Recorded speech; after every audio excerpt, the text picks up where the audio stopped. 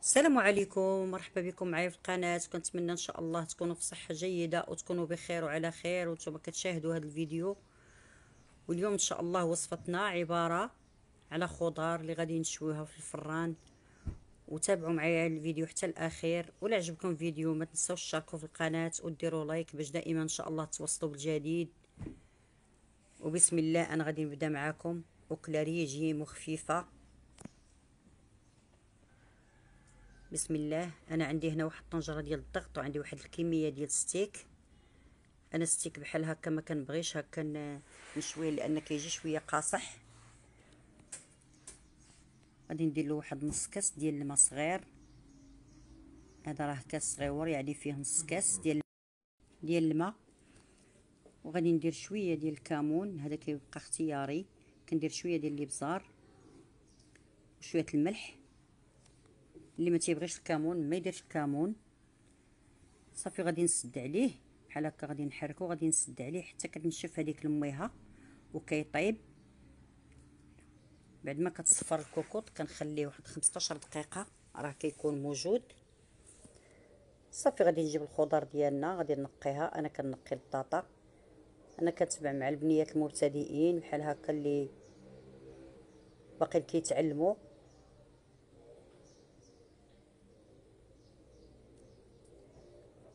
كنقطع البطاطا ديالنا بحال هكا نقيها صافي وغادي نقطعها على طول بحال هكا في الماء.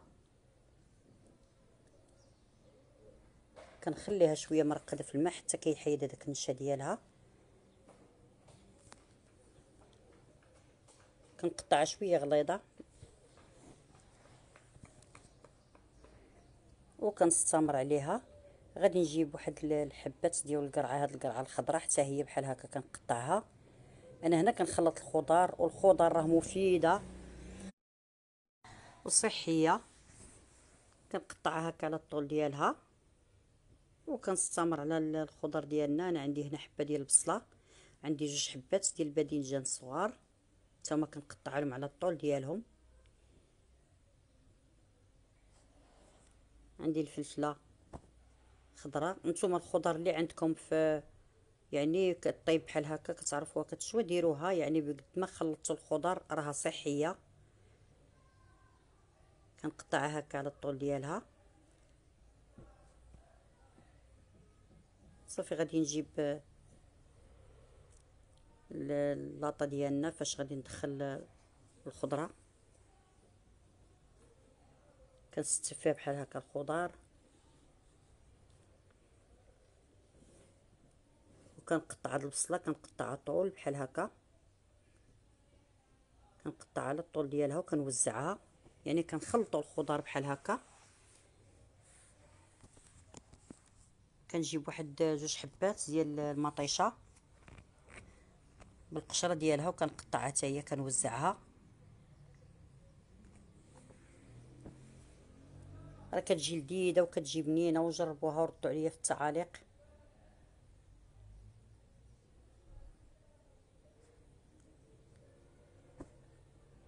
بحال هكا كناكلوها كنقصوا من الحلويات وكنقصوا يعني كتاكليها مع الفطور راه كتستافدي منها.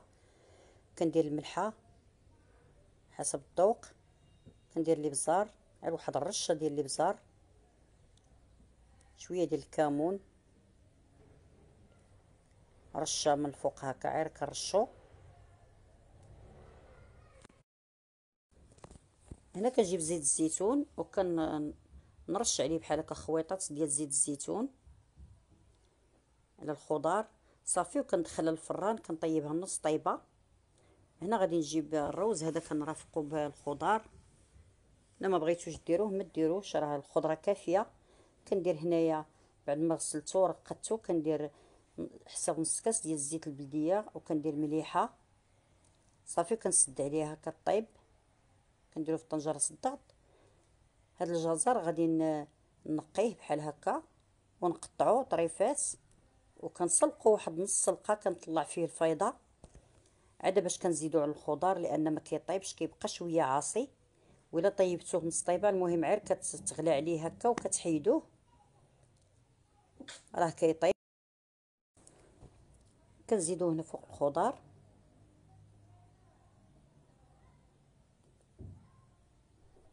يعني أحسن حاجة هي الخضر مخلطة.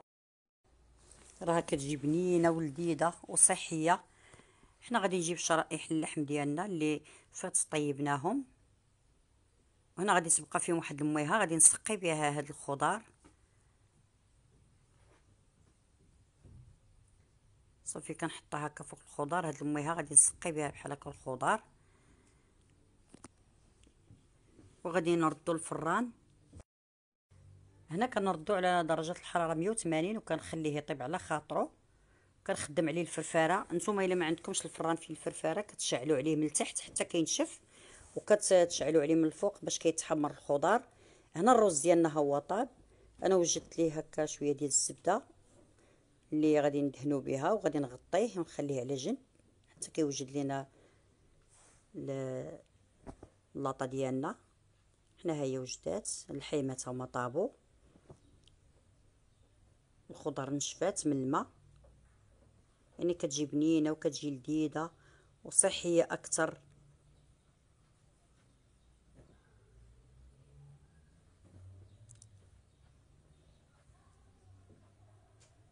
صافي كنرافقوها بالروز. كنرافقوها بهذا الروز اللي طيبناه.